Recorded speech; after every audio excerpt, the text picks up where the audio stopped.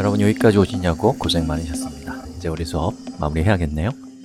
저는 현대 사회가 출원할 수 있었던 가장 위대한 성취는 소비 문화라고 생각합니다. 최소한의 지식으로도 엄청난 일을 해낼 수 있게 된 것이죠. 이를테면 화폐, 인터넷, 또 보험과 같이 실제로는 엄청나게 복잡한 것임에도 이것을 쉬운 것으로 여기게 되는 것은 정말 혁명적인 사건이라고 생각합니다. 그 덕분에 인터넷과 같이 정말 복잡한 것들을 아이나 어르신들도 사용할 수 있게 된 것이죠. 자, 그런데 빚이 있으면 그늘도 있는 법인 것 같아요. 실제로는 복잡한데 그것을 쉽게 사용하다 보면 여러 가지 문제가 생깁니다. 예를 들면 오늘날 인터넷은, 인터넷은 전 세계인들의 마음과 비밀과 자본을 실어나르는 통로입니다. 이 통로는 악의로 가득 차 있어요. 이렇게 위험한 통로에서 살아남기 위해서는 이 통로가 동작하는 방법을 알아야 합니다. 또 이 통로는 다양한 가능성을 가지고 있습니다. 이 통로에 대해서 많은 것을 알수록 통로를 이용해서 할 수 있는 일이 많아집니다. 기회의 통로라고 할 수 있는 것이죠. 그런 점에서 인터넷에 대한 이해는 중요합니다. 여기서는 여러분이 이후에 인터넷과 관련해서 또 우리 수업과 관련해서 추가적으로 공부할 만한 지식들을 소개해 드리도록 하겠습니다. 여러분의 가정에 있는 공유기는 네트워크와 관련된 수많은 기능을 포함하고 있는 아주 고급 장비예요. 서버와 클라이언트, IP와 포트, NAT와 같은 지식을 여러분이 갖추고 있다면 공유기를 통해서 할 수 있는 일이 정말 많습니다. 공유기의 관리자로 들어가서 메뉴들을 둘러보세요. 보이는 것이 달라져 있을 겁니다.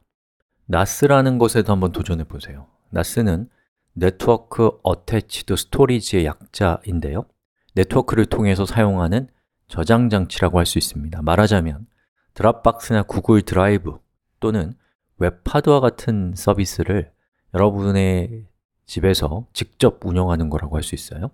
본질적으로는 여러분의 컴퓨터를 웹서버로 운영하는 것과 다름이 없지만 데이터의 저장, 백업과 같은 것을 쉽게 해주는 여러 편의 기능들이 포함되어 있는 솔루션을 사용하는 거라고 할 수 있습니다. 직접 웹하드를 운영하고 싶은 분들은 NAS로 한번 검색해 보시면 여러 제품이 있을 겁니다. 또 우리는 지금까지 IP를 이용해서 서버에 접근하는 방법을 사용했는데요.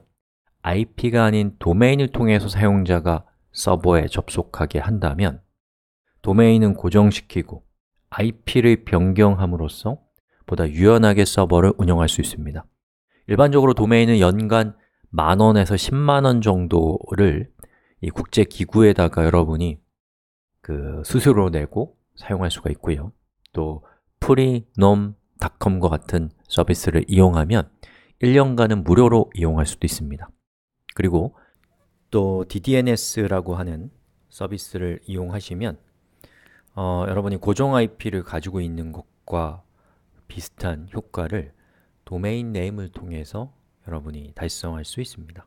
자, 또 보안과 관련해서는 우리는 80번 포트를 사용하는 HTTP라는 방법을 통해서 웹서버와 웹브라우저에 통신을 하고 있어요. HTTP는 중간에 누군가 감청할 수 있는 확률이 매우 높습니다.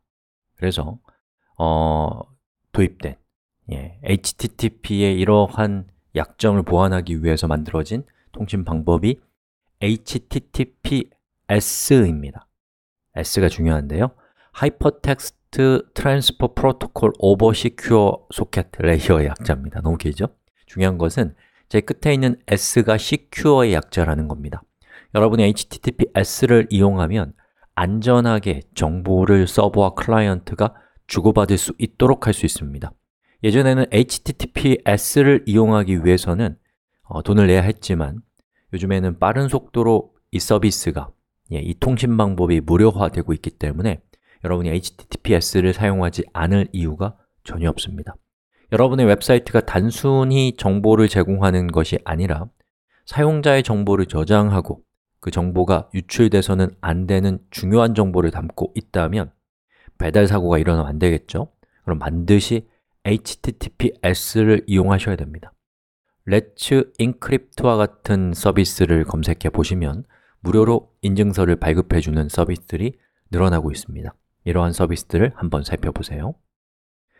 어, 가정에서 서버를 운영하는 것은 교육적으로는 매우 해볼 만한 일이지만 실제로는 추천되는 방법은 아니에요. 서버를 운영할 수 있는 컴퓨터와 네트워크 환경을 제공해주는 사업자들이 있습니다 웹서버를 제공하는 업체를 웹 hosting 좀 더 높은 자유도를 가질 수 있도록 서버를 제공하는 사업자를 서버 hosting이라고 합니다. 또 보다 큰 규모로 여러 가지 편의 기능을 제공하는 사업자를 클라우드 컴퓨팅이라고 부르는데요. 본질적으로는 거의 같은 일을 하는 비즈니스들입니다. 이런 업체들을 통해서 어, 실제 서비스를 한번 운영해 보세요. 이런 서비스를 이용하는 데에도 지금까지 우리가 배웠던 지식은 당연히 정말 크게 도움이 될 것입니다. 자, 여기까지입니다. 어떻게 수업이 재밌으셨나요? 예, 저는 우리가 공부를 하면 안 보이던 것이 보이고 안 들리던 것이 들리기 시작한다고 생각해요. 더 많은 것을 공부하는 것도 좋겠지만 우리의 눈과 귀가 밝아지는 이 놀라운 경험을 천천히 음미하면서 좀 마음이 기뻤으면 좋겠습니다. 자, 고생하셨고요. 여기까지 하겠습니다